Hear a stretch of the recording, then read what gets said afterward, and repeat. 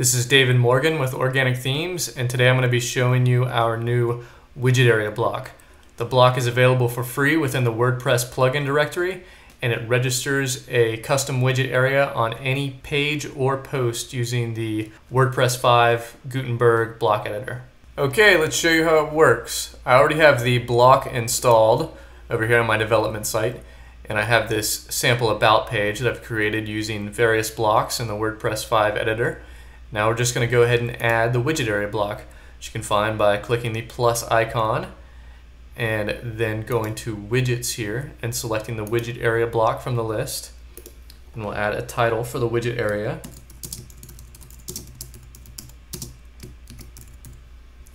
Let's update the block.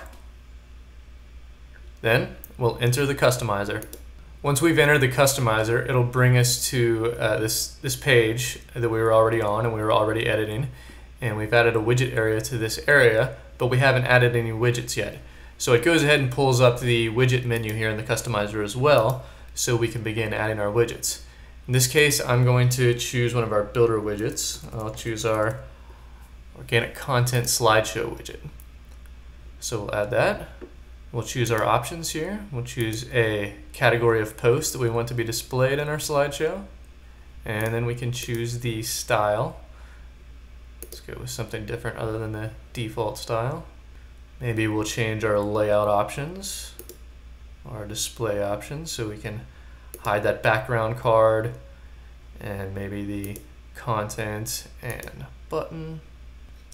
Now we've added a content slideshow directly within our WordPress 5 content. So we can just go ahead and publish these changes. We can close the customizer. Now that slideshow exists within this widget area, so if we were to go to the front end of our website here and refresh the page, we scroll down and we can see that the slideshow is displaying on our page. So the widget area block has several uses. You can add any kind of widget to any page or post now that's using the WordPress 5 editor. But where it really shines is using our Builder Widgets plugin in which you can add stuff like this. You can add a featured content slideshow or you can add customer testimonials or your team members or something to an existing WordPress page and existing WordPress content. And uh, that's where we, we think it's, it's really useful and we hope you get some value out of this free block and our Builder Widgets plugin. So thank you for, uh, for watching.